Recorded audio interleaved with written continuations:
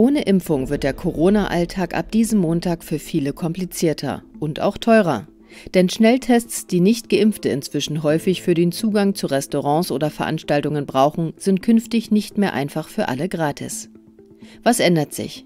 Schnelltests durch geschultes Personal samt Ergebnisbescheinigung müssen jetzt in der Regel selbst gezahlt werden. Gratis bleiben sie noch für Menschen, die sich nicht impfen lassen können. Für wen genau gibt es weiter kostenlose Tests? Kinder von 12 bis 17 Jahren und Schwangere können sich noch bis 31. Dezember mindestens einmal pro Woche gratis testen. Denn für sie gibt es erst seit kürzerer Zeit eine allgemeine Impfempfehlung der Ständigen Impfkommission. Gratistests bekommen generell weiter Menschen, die sich aus medizinischen Gründen nicht impfen lassen können. Ebenso Kinder, die das zwölfte Lebensjahr noch nicht vollendet haben oder erst in den letzten drei Monaten vor dem Test zwölf geworden sind. Für sie gibt es noch keinen Impfstoff. Kostenlos bleiben die Tests unter anderem auch für Menschen, die zur Beendigung einer Quarantäne wegen einer Corona-Infektion einen Test brauchen.